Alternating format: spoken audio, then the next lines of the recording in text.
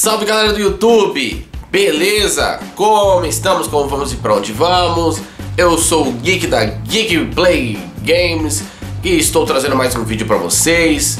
Mais um vídeo informativo, um vídeo bonito, cheiroso e isso aí, tudo, todos os adjetivos de sempre. Logo de cara, se você apoia o canal, deixa aquele like maroto, esperto e deixa aí no comentário o que você achou do vídeo. Não esqueça de seguir a Geek Play Games nas outras redes aí, sociais, enfim, que tem o Instagram e também o canal na Twitch, que é onde a gente a gente é, é a gente posso falar a gente porque tenho eu e mais uns amigos. Mas é onde que eu faço live, então eu faço live focado, as lives são focadas na Twitch e aqui o YouTube é focado para vídeos, assim como esse. Então segue a gente também nas outras redes sociais, tem no Facebook, tem no Instagram, tem na Twitch, tem em geral. O dólar impacta consoles usados? O dólar impacta no, no mercado de, de eletrônicos usados? Deveria impactar? Como que funciona?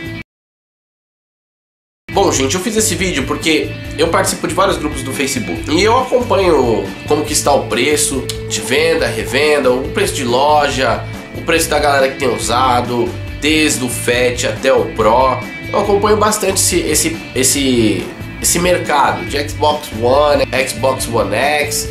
Eu acompanho esse mercado para ver os preços e ver como que ele está se comportando, preço de controles, enfim. E desde a, esse início de, de pandemia aí, em março, todo mundo sabe que os preços das coisas realmente aumentaram bastante. Tanto com a alta do dólar aí foi extremamente absurda a alta do dólar.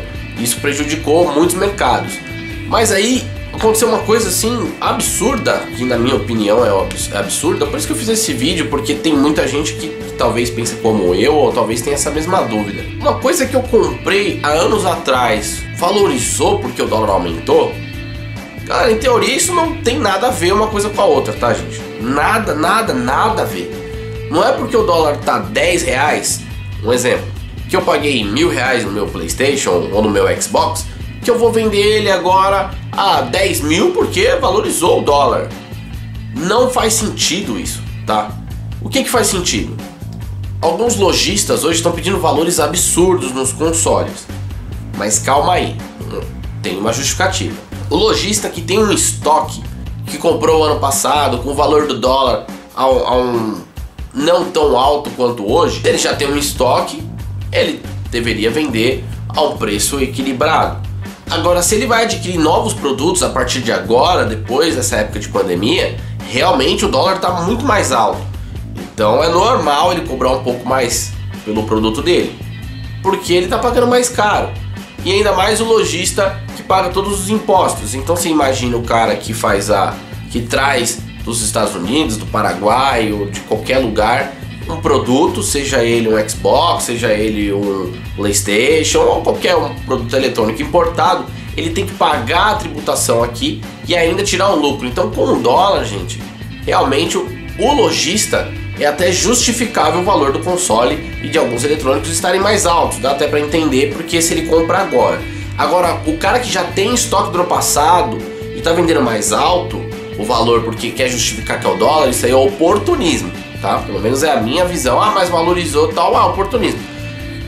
Sei lá, é, é a minha opinião como sempre, né, gente? O cara de loja é até justificável. Diversos impostos no Brasil é um absurdo para quem tem um CNPJ. Digo por experiência própria.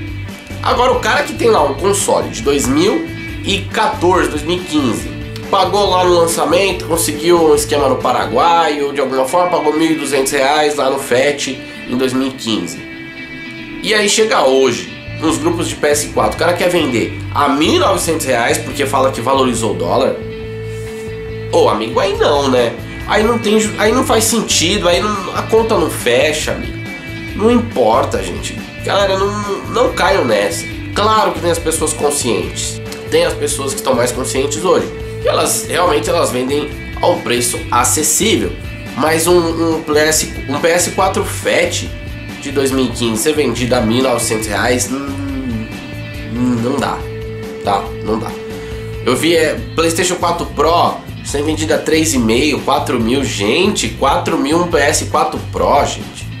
Ou oh, Xbox One Series S, que já é um, um console da nova geração, custa 3 mil, 3 mil novo.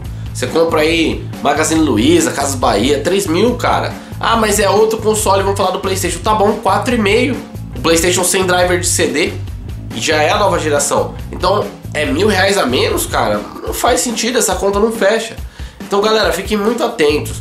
Muito atentos. Se você vai comprar um console novo, quer comprar usado, faça uma boa pesquisa. Pesquise, dá uma olhada. Tem gente ainda que tem noção, tá vendendo num preço em conta. Tá vendendo num preço assim que, que é legal, que dá para comprar, que tem procedência, você vê que o cara cuidou legal do console e tal. Não caiam nesses nessa, nessa ideia do pessoal. E eu tenho certeza que pode ter gente que faz isso, vai chegar, vai falar, ah, você, você tá falando asneira, valoriza assim, cara, como eu disse. A internet é livre, a opinião é livre, cada um põe o preço que quiser. Você quer pôr 5 mil no seu, no seu videogame? Pode pôr, não tem problema. Mas aqui a minha função, assim como para trazer um vídeo, é tentar trazer o máximo de informação e a minha opinião que de repente pode ajudar a você a tomar alguma decisão. É ceboso. Fiquem espertos também com o golpe de Mercado Livre, esse negócio de, ah, eu vou mandar o Uber, ah, pra ir buscar na sua casa, ah, você vai vender, ah, eu vou comprar pelo Mercado Livre, aí chega um e-mail meio suspeito na sua casa, chega lá, contato Mercado Livre arroba gmail.com, gente, tome muito cuidado, não caia nos golpes. Tem muita gente aí aplicando golpes a rodo, então fique muito esperto com isso. Bem, galera, espero que vocês tenham gostado do vídeo. Foi um vídeo informativo aí, um pouquinho mais da minha opinião sobre o que está acontecendo no mercado. Teria sido melhor eu ver o filme do Pelé. Se você não é inscrito no canal, se inscreve no canal, deixa aquele like maroto esperto. E até o próximo vídeo. Falou!